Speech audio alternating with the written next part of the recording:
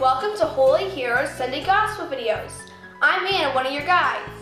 This Sunday is the third Sunday of Easter.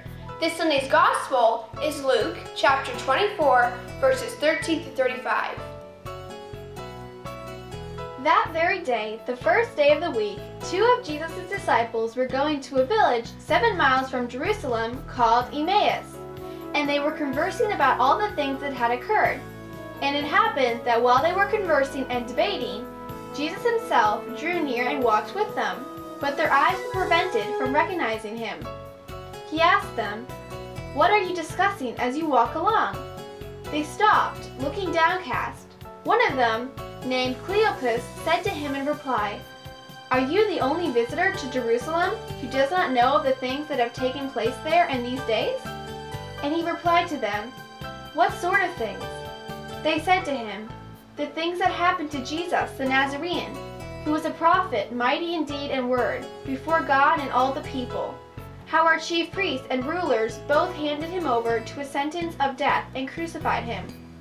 But we were hoping that he would be the one to redeem Israel. And besides all this, it is now the third day since this took place. Some women from our group, however, have astounded us. They were at the tomb early in the morning and did not find his body. They came back and reported that they had indeed seen a vision of angels, who announced that he was alive. Then some of those with us went to the tomb and found things just as the woman had described, but him they did not see. And he said to them, Oh, how foolish you are, how slow of heart to believe all that the prophets spoke. Was it not necessary that the Christ should suffer these things and enter into his glory? Then beginning with Moses and all the prophets, he interpreted to them what referred to him in all the scriptures. As they approached the village to which they were going, he gave the impression that he was going on further. But they urged him, Stay with us, for it is nearly evening and the day is almost over. So he went in to stay with them. And it happened that, while he was with them at table, he took bread, said the blessing, broke it, and gave it to them. With that their eyes were opened and they recognized him. But he vanished before their sight.